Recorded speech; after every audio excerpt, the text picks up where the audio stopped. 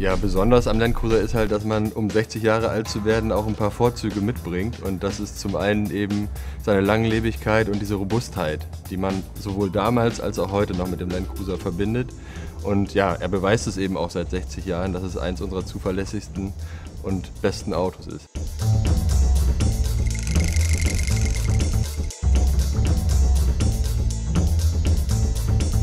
Ja, er ist insofern besonders, als dass er das erste Fahrzeug ist, was wir exportiert haben. Also damit fing für Toyota quasi die Erfolgsgeschichte Toyota an.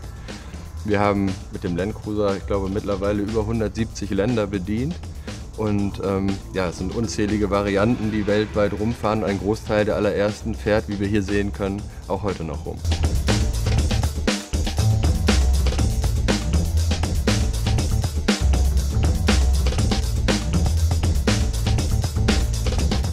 60 Jahre ist eine erstaunlich lange Zeit für ein Modell, für ein Produkt, das über 60 Jahre lang so fortwährend entwickelt wird und immer am selben Grundkonzept festgehalten wird. Ist eigentlich eine außergewöhnliche Geschichte im Automobilbau. Wir haben hier eine ganz einfache, ganz simple Konstruktion, die sich bei Geländewagen immer bewährt hat. Starrer Leiterrahmen, zwei Starrachsen, Allradantrieb, aufgesetzte Karosserie. Viel mehr ist eigentlich gar nicht dran. Und einiges davon, von diesem bewährten Grundkonzept, steckt auch immer noch im aktuellen Landcruiser. Es ist immer noch ein starrer Leiterrahmen drunter. Es ist immer noch, zumindest hinten, eine Starrachse. Vorne hat er mittlerweile Einzelradaufhängung. Äh, und es ist immer noch eine aufgesetzte Karosserie und Allradantrieb, wenn auch mittlerweile permanent und nicht mehr zuschaltbar wie damals.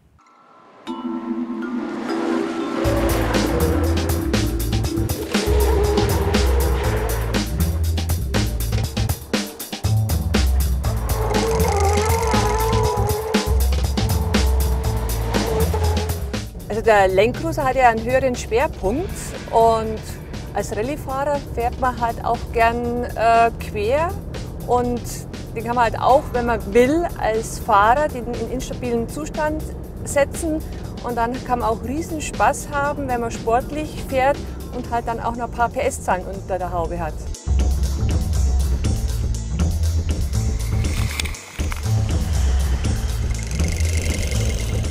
Der Land Cruiser ist an sich ein Go-Anywhere-Fahrzeug. Das heißt, ich steige ein, ich steige irgendwo wieder aus, ich mache mir aber zwischendrin keine Gedanken, wo fahre ich eigentlich durch. Und äh, dieses Grundkonzept des äh, einfach zuverlässig sein, zuverlässig Fahrer, Transport, Personen von A nach B zu bringen, das hat sich bis heute durchgezogen. Und mittlerweile in 60 Jahren, über 60 Jahren Entwicklungsgeschichte wurden weit über 6 Millionen Fahrzeuge produziert die in 178 Länder exportiert wurden. Das ist eine ganz amtliche Zahl.